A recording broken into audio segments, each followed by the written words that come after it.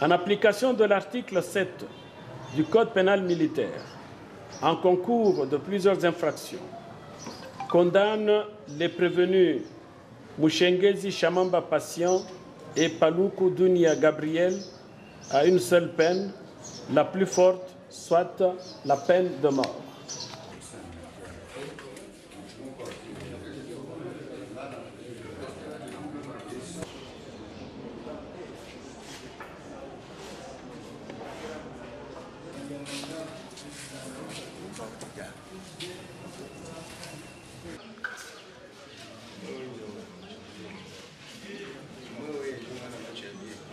Cette décision sera cassée.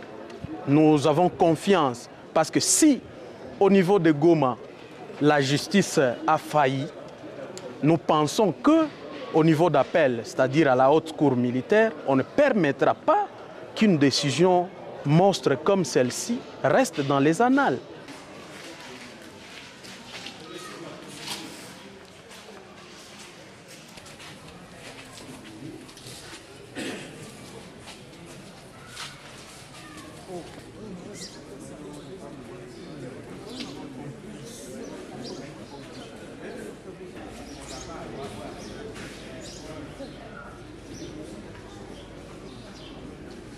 Plutôt que d'arranger notre appareil sécuritaire, ce genre de décisions seront en train de, de plus en plus de fragiliser nos militaires et de donner plus effectivement de la paix à ceux qui sont sur toutes les lignes de front.